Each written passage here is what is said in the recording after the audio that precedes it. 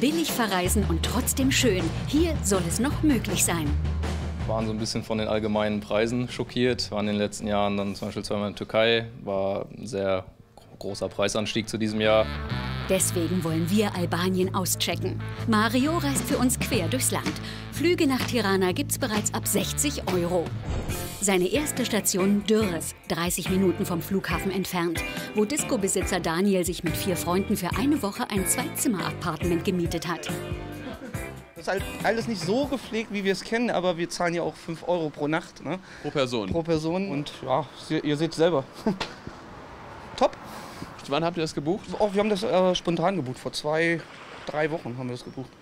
Ja, also besser geht nicht gerade. Ne? Das ist natürlich in der Nebensaison, muss man auch sagen. Aber ja, essen gehen nicht über 10 Euro. Ne?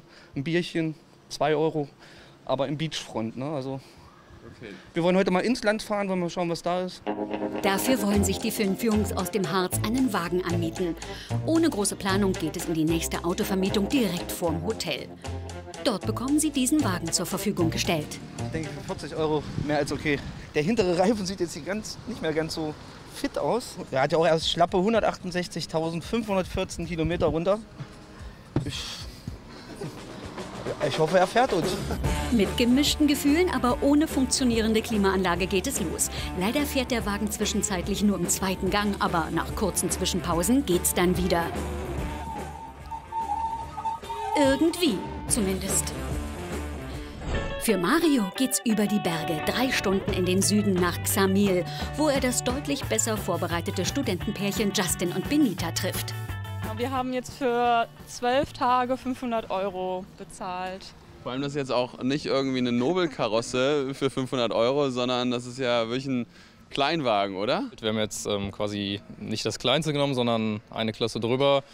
Für unsere Zwecke reicht's. Ähm, wir sind zufrieden. Das Auto fährt gut, macht das, was es soll. Also von dem her passt das. Für die heutige Nacht hatten sich die beiden die Suite in diesem Drei-Sterne-Hotel ausgesucht mit Balkon und Blick aufs Meer. 55 Euro pro Nacht äh, mit Frühstück.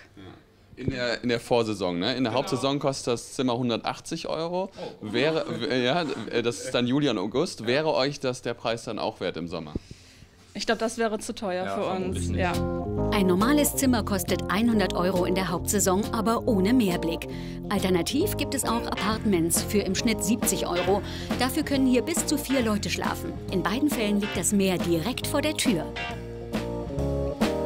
So, dann testen wir das Wasser. Es sind 15 Grad, mega sauber und türkisblau. Das kann einfach nur schön werden. Tatsächlich sind es bereits 20 Grad und im Sommer sogar 26.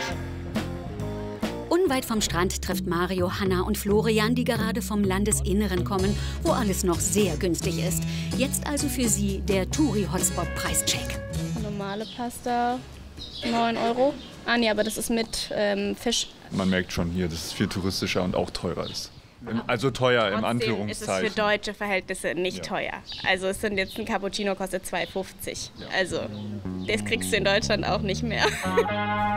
Zudem ist dieser Mietwagen der Beweis, dass es auch günstig geht.